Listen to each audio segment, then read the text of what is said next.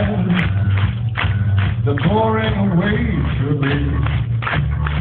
It's our lives, the swing so